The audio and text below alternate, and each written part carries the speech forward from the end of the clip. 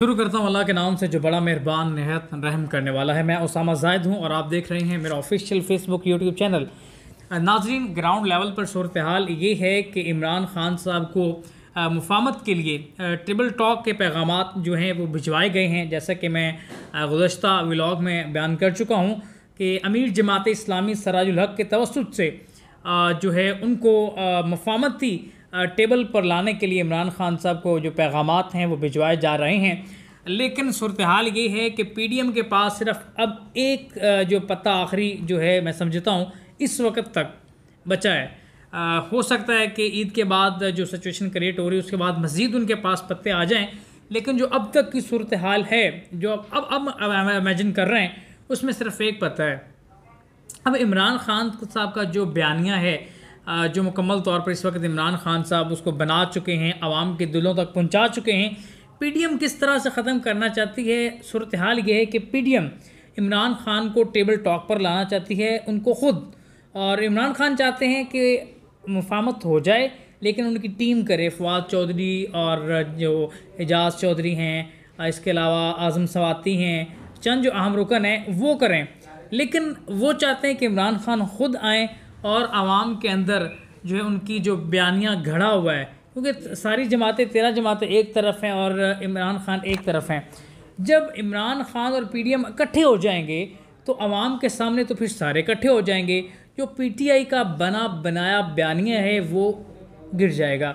तो पीडीएम यही चाहती है कि किसी न किसी तरह खान को घेरें और उस बयानिए पर लेकर आ जाएँ जहाँ पर जो है अवाम मुतनफ़र हो जाए इमरान खान से और वो अपना मकसद हासिल कर लें, यानी कि उसके बाद इलेक्शन में जाएँ और बराबर का मुकाबला हो। और जिस तरह से मैनेजेबल हुकूमत एक आए कि इसके तीन ले लिए, इसके पंद्रह ले लिए, और जिस तरह खान ने इमेजिन करके रखा हुआ है कि तीन ताई थी या चार ताई अक्सरियत से मैं जनाब ऊपर आने जा रहा हूँ, उसको पी डी एम मुतासर करने की कोशिश कर रही है। और इस्टेबलिशमेंट पाकिस्तान की कभी नहीं चाहेगी कि सियासी पार्टी तीन तय अक्सरियत से या चार तय अक्सरियत से मैदान अमल में आए और खुला खेड़े और ख़ान साहब आ जाते हैं तीन तय अक्सरियत से तो सीधी साहब बात है कि सदारती निज़ाम जो है, इमरान खान साहब ले कर आ जाएँगे। तो इस सारी सूरत हाल को इस्टेबलिशमेंट भी समझती है और पी डी एम भी समझती है। तो वो सूरत हाल इसी तरह से क्रिएट करना चाहते हैं कि इमरान खान के सबसे पहले बने बनाए बयानियों को नीचे गिराना चाहते हैं। उसके बाद वो ग्राउंड लेवल पे वो गुत्थम गुत्था होंगे और उसके बाद अगली जो खून खार जो है, अपनी पत्ते फेंकेंगे और जो इमरान खान को एक अड़ फस के साथ हुकूमत जो है वो हो सकता है सौंपे, ना तो वो भी उसके हाथ से ले ली जाए क्योंकि इधर इधर इतिहाद बहुत तगड़ा है और ख़ान साहब अकेले मैदान में खड़े हुए हैं और जो है खान का इस वक्त कोई सियासी साथ मौजूद नहीं है। अब आगे देखें, आगे बड़ी अहम डेवलपमेंट है बड़ा अहम जो है सब्जेक्ट है कि सूरत हो क्या रही है पे। सुप्रीम कोर्ट ऑफ़ पाकिस्तान जो है, उसने हुक्म दिया पहले इलेक्शन कमीशन को कि जनाब आप इक्कीस अरब रुपए के जो है ना, वफाक से फ़ंड लें। वफाक को जो है, उसके लिए पाबंद कर दिया। अब उसकी भी चार्ज शीट जमा हो गई और इलेक्शन कमीशन ने एक जुमला लिख के भेज दिया कि वफाक ने हमें फ़ंड जारी नहीं किया। बात ख़त्म हो गई भाई। उसके बाद सुप्रीम कोर्ट ऑफ़ पाकिस्तान ने दोबारा जो है, वो समात की। उसके बाद फ़ैसला किया और हुक्म दिया स्टेट बैंक ऑफ़ पाकिस्तान को। वो इक्कीस अरब रुपये का जो है वो इलेक्शन के लिए मुख्त करें पंजाब और के पी के के जो इंतबात हैं। तो स्टेट बैंक ऑफ़ पाकिस्तान ने कहा कि हमने इसके लिए ऑडिट कर दिए, तखमीना रख दिए और अभी हमने जारी नहीं किए।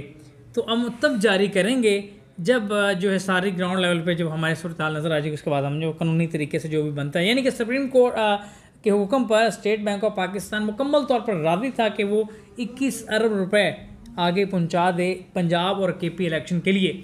लेकिन अब होने क्या जा रहा है? ख्वाजा असफ़ साहब का एक मैंने ट्वीट देखा, ख्वाजा असफ़ ने कहा बल्कि मैं समझता हूँ जिस सीट पर बैठे हुए हैं इस वक्त हुकूमत ने, उस सीट पर बैठते हुए ये ट्वीट बनता नहीं था। वो कहते हैं कि जी, अब पी टी के पास सिर्फ़ एक रास्ता है, वो इक्कीस अरब रुपये के नोट छापे, ईद के मौका पर, और उसी इक्कीस अरब से जनाब वो खेलें, उस, उसके बाद उसी इक्कीस नोटों को इलेक्शन के तौर पर बांट दें। बड़ा ही घटिया किस्म का और मैं समझता हूँ कि नॉन प्रोफेशनल और गैर ज़िम्मेदाराना ये ट्वीट था, जो बल्कि मैं तो कई दिनों से नोट कर रहा हूँ पीटीएम की बड़ी बड़ी आम शख्सियात के नॉन प्रोफेशनल गैर ज़िम्मेदाराना ट्वीट सामने आ रहे हैं लगता ही नहीं है कि ये कबीना में बैठे हुए अफराद हैं।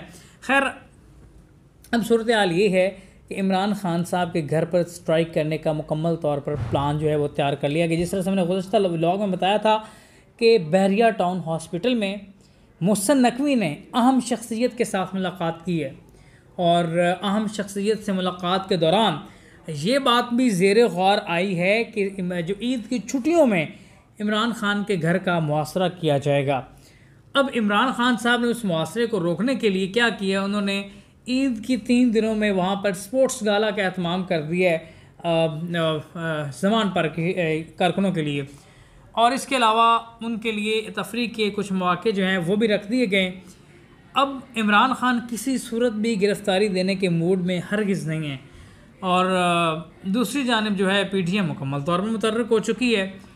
अब एक तरफ़ से अगर जाविये से देखा जाए तो इमरान खान को गिरफ़्तारी, अगर इमरान खान गिरफ़्तारी नहीं देते तो एक रवायत बन जाती है।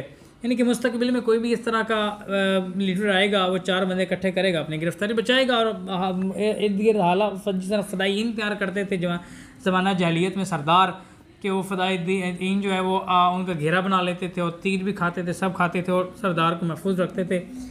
ये रवायत चल पड़नी है और इस रवायत का सबसे ज़्यादा नुकसान भी पीछे को होने वाला है और ये पीछे इसको बहुत जो है ऐज करेगी और ये आ, आने वाला वक्त इस बात को मुकम्मल तौर पर वाजे कर देगा।